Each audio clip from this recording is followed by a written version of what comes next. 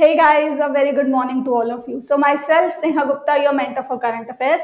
Those who are watching me for the first time, so it's all new for them. But those who watch me regularly, so I would like to apologize guys because last week there were uh, some days when I could not take the session because I, I was not doing well. I was not well, but you don't have to worry because I am going to take all the sessions regularly from now onwards. Okay, so let's begin this video. But before moving to the first question, please subscribe our channel and hit the bell notification. And also a very important announcement for those who are watching me for the first time that guys, you can get the PDF of this session on the Telegram group and the link of the Telegram group is in the description below. So on that note, let's begin with our first question. Recently, Ministry of Education has formed a 12-member National Steering Committee for developing the national curriculum frameworks. The committee will be chaired by the former ISRO chief K. Kasturi Ranjan, who was also the chairman of the drafting committee of National Education Policy 2020. The committee has been asked to develop four national curriculum frameworks within the ambit of the National Education Policy 2020 identify the framework which does not fall under the terms of reference of the committee. So guys, terms of reference refer to the work, duties that the committee has been formed for. Okay, so this committee has been formed for developing four curriculums. So you have to identify which is the incorrect option out of these five options. So we have national curriculum framework for school education, for early childhood care and ed, uh, education, national curriculum framework for teacher education, for digital education and for adult education. So which one is the incorrect option? The incorrect option is D. So national framework for digital education is the right answer for this question. This committee would not frame a curriculum regarding the digital education. Apart from this, this will form the curriculum for school education. This will form the curriculum for early childhood care and education. For teacher education, which includes your courses like B.Ed, M.Ed. So those courses come under the teacher education. Then adult education. So these are the four curriculums for which this committee has been formed and you have to memorize that K. Kasturi Ranjan was the chairperson of the committee that developed the National Education Policy 2020. Okay. Now let's have a look what we have in the details. Okay, so first of all, you need to know that it is a 12 member committee. It is a national steering committee for developing the national curriculum frameworks. Okay, so this we have already discussed and this we have also discussed. The tenure of this committee will be three years and the director of NCERT will uh, assist the steering committee Okay, and at present the director of NCERT is Sridhar Srivastav. So do remember this as well. Now guys, this is the basic framework. This is the uh, breakthrough in the new education policy. The This was the traditional structure and this is the new structure proposed. Okay, so this is the very basic glimpse that I am giving you of the new education policy. But let me tell you that this new education policy is a very, very important document. You can expect a question out of it from your, in your NABARD phase 2 or your upcoming RBI or SEBI phase 1 and phase 2. So do prepare it thoroughly. Moving on to the next question. Which of the following is the correct option in relation to the State Food Secure Food Safety Index 2020 to 2021?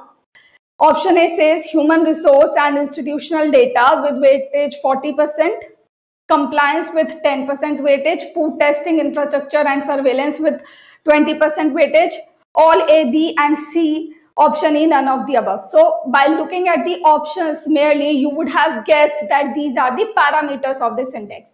So which parameter has been given with the correct weightage is the question exactly. So here the right answer is option C. Food testing, infrastructure and surveillance has 20% weightage whereas the weightages given in the two options above this C option are wrong. So let's have a look at this index in detail which has been released by FSSAI, Food Safety and Standards Authority of India. And you would know that in NABARD you had a question on the full form of FSSAI.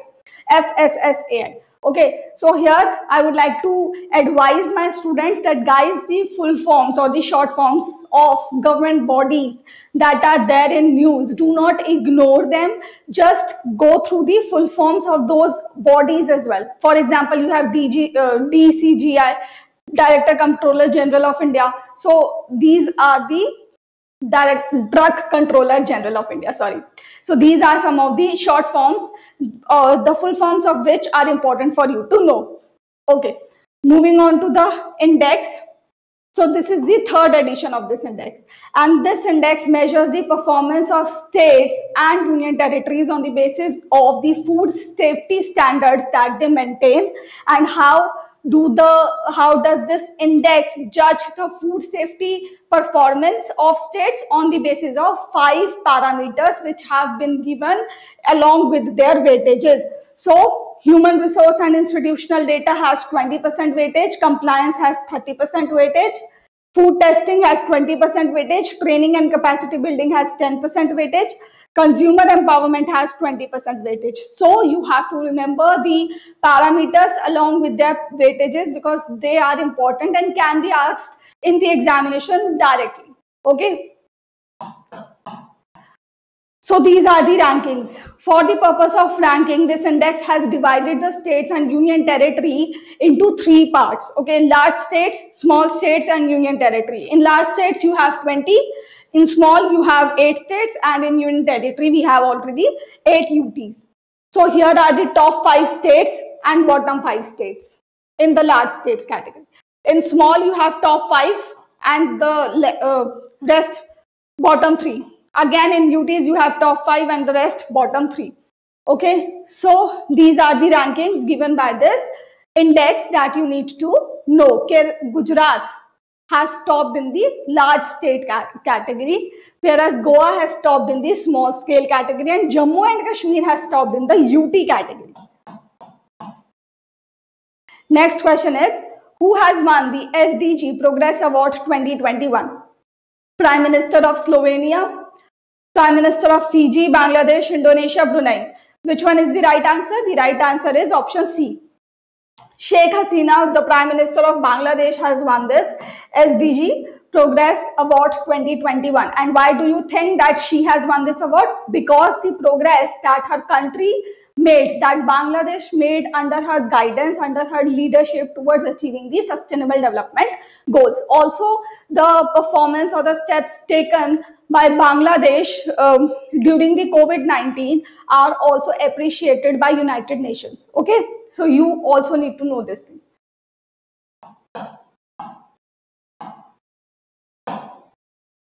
Who has been appointed as the chief of the air staff? So you have the five options out of which option E, Vivek Ram Chaudhary is the right answer. Sandeep Singh has been appointed as the vice chief of the air staff. He is the chief of the air staff, Vivek Ram Chaudhary, V.R. Chaudhary. Okay. How many blue flag certified beaches are present in India? So recently two new beaches have got the blue flag certification. Therefore, the total number of blue flag certified beaches in India has been increased to 10.